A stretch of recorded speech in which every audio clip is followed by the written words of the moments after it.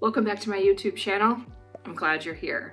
I don't know if you've heard the news last week, but the borders of New Zealand are opening up for travelers as well as people that are trying to move here and immigration and students and all of that. I will put a link in my description on details of that and the different stages of which things are opening up.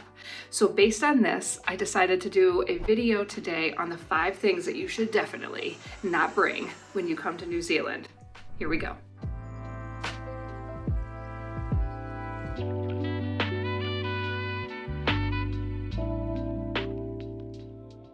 If you don't know me, I have moved my family of six from the US to New Zealand and have been here for six years. So welcome to my channel. If you're interested in moving here or traveling here or just want to chat with me about what it's like, I do offer consulting services for that. Um, I do help people with their CVs and interviewing skills, public speaking skills, all of this. So check out my website, kiwiamericans.com, or just shoot me an email. I am here to help you. Welcome to my channel. Okay, the number one thing that I don't think that you should bring to New Zealand with you is the set in my ways bad attitude when you come here. Whether you're traveling or you're moving here, be open-minded. Be open-minded to try new things. Be open-minded to do things a new way, to disrupt your routine. Okay, if you come here and be like, mm, I don't like that they don't have this, or they do this this way, or this seems weird, I don't understand why they do this, let's not have that attitude okay? when we come to New Zealand, it's not gonna go over well. Okay, so when you come to New Zealand, make sure that you have like, okay, I wanna try this, let's see how it is. Now you don't have to like the way that they're doing something, but you have to not sit there and complain about it, okay? Because you are in a different place and a different culture and a different value system and a different way of doing things. And so it's just not gonna fit into the way that you're doing something. So if you're open-minded and you're up for trying new things, you will do great. Number two, I do not recommend bringing appliances that require a step down converter. What that means is, is that in the US, the voltage is 110. In New Zealand, it's 240, okay? So when you have an appliance um, that needs to be um, converted in terms of voltage, I don't recommend it. Now to get, you can use it and you can get it. I actually have two step down converters because I did bring some appliances and, but they're really heavy and bulky and annoying. And what happens is my appliances don't get used because I can't be bothered with that thing. Okay. So now it really only applies to things that have motors big heating elements where you need to change the voltage in order for the unit to work. So most of the time, if you look at your unit, it'll say can be used in 10 or 110 or 240, like a computer, for example, it'll say that on the battery pack, and then that means you can use it here and you just need um, to do the plug converter but you don't need to do the full step down converter. So it's really more of like when I brought my KitchenAid mixer, when I use my waffle maker, when I use my Ninja, I needed that because it used a lot of power and it had a bigger engine. And so at the end of the day, the reality is, is that I don't use them or I ended up just selling them or getting rid of them because it's really annoying having to use the converter. So there are some ways of which you can get the plugs adjusted and stuff, but in general, like if a hair, you know, curler or whatever, or hair straightener or whatever, that'll be fine. You just need the plug difference, but big, like, uh, like a small to medium appliance that you would bring from the US or wherever, from Europe, um, that would need a step down converter, I don't recommend it. Now, number three, I also don't recommend bringing baked goods or any unopened food. Like you can't really.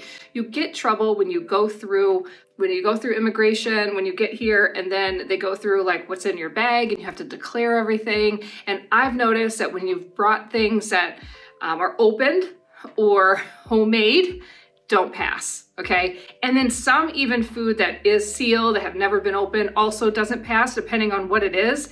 And you can look, I'm sure you can go on the, on like an airline site and they'll tell you what you can bring in and not.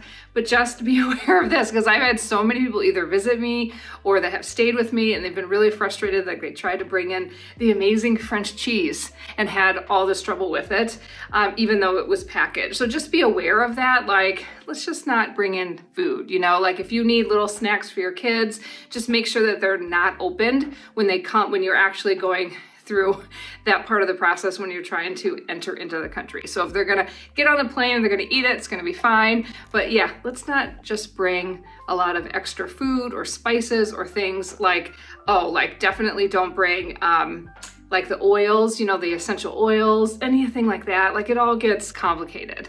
So think about that. Make, make sure that you check out um, travel sites and know kind of the rules around what you can and cannot bring.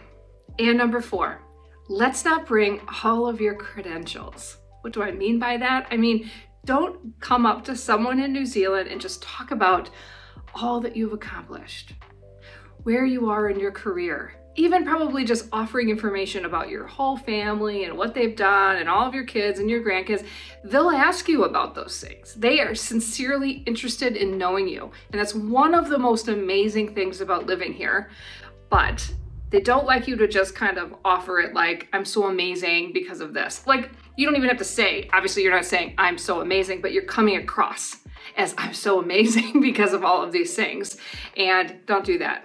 Don't offer any of that information unless they ask. That's probably a good rule of thumb. Okay, don't walk around and talk about your credentials where it's perfectly normal in casual conversation in the US, but not in New Zealand. Keep it to yourself till they ask. And number five, I don't recommend, I get this question a lot, I don't recommend bringing traveler's checks bank check. You can't use bank checks in New Zealand. Like you can't go to a bank and cash it anymore. There might be like one or two that you're able to, but they're, they're trying to eliminate that. Okay, so if you're moving here, you're gonna get an EFTPOS card, which is electronic funds transfer point of sale, which means it's immediately taken out of your checking account. So it's like a debit card, but it's immediate okay? And so when you move here, you'll get one of those. But if you are traveling here, just having maybe a little bit of cash, I don't, people do not really carry cash here. They do a little bit. Um, so maybe have some initially, but then uh, everything can be on your credit card or your debit card, depending on your bank. So I would use that. I would probably plan on using a credit card. Get one where you can earn a lot of points, right? For an airline or for whatever it is that you're interested in and something that can be used internationally. Um, so do that, but like cash isn't really used and just a good thing to know that checks aren't really used. So I can't imagine that traveler's checks would be very helpful. Sometimes they can give you like those bank, like you can go to one of those traveler places and they can give you one of those credit cards to use on your trip. Even that, I don't think I would bother. If you haven't checked out TransferWise, I think they're just Wise. I have a link in my description um, for you to click on if you're interested in using it. It is literally the best site to transfer money. Like I'm able to transfer money from anywhere around the world in like four hours.